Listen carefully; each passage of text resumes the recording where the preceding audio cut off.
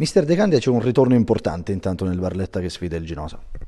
Sì, c'è il ritorno di, di Giambuzzi perché finalmente l'abbiamo a disposizione, l'abbiamo avuto a disposizione nella partita dell'Albero Bello e poi anche in una partita casalinga che adesso mi sfugge, che è partita ehm, con Massafra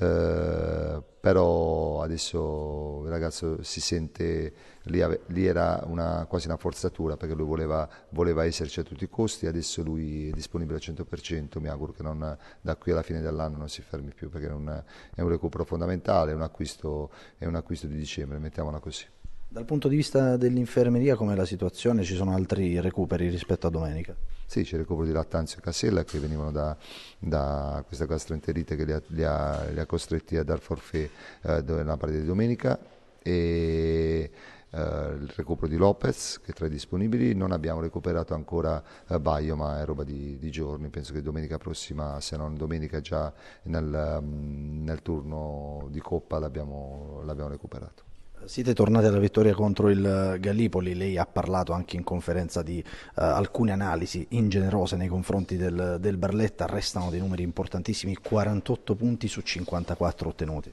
Sì, quello fa piacere questi numeri, però come, come ho detto dal primo giorno questi numeri non portano a niente, anche il discorso che adesso abbiamo un vantaggio eh, che sembrerebbe cospicuo sulla, sulla, sulla seconda, però non, non, non, non, ci lascia tranquilli perché eh, sono tutte squadre attrezzate, attrezzate a far bene, eh, ben allenate tutte, quindi possono tranquillamente mettere dentro armi ehm,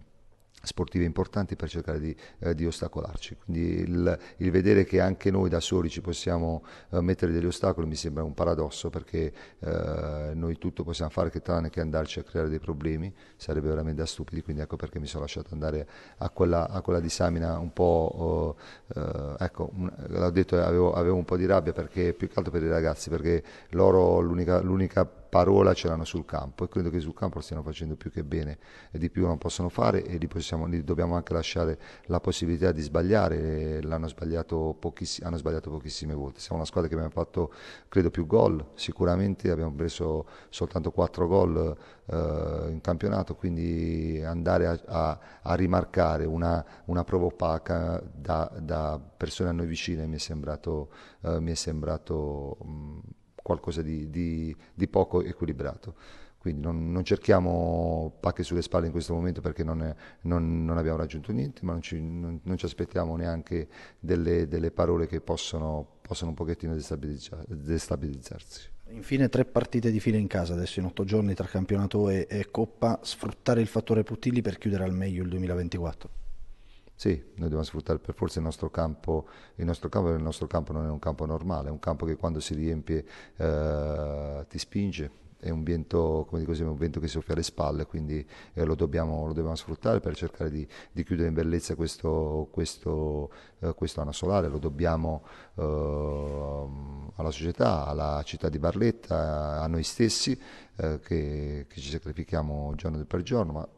se permettetelo anche soprattutto ai tifosi che semmai hanno vissuto un anno un, anno un po' particolare con una cocente, con una cocente delusione, quindi almeno non, non, andremo mai a pareggiare quella situazione, però almeno ad alleviare un pochettino quella situazione sì e, eh, e quindi mh, dobbia, dobbiamo provare in tutti i modi a, a terminare l'anno solare nel miglior modo possibile.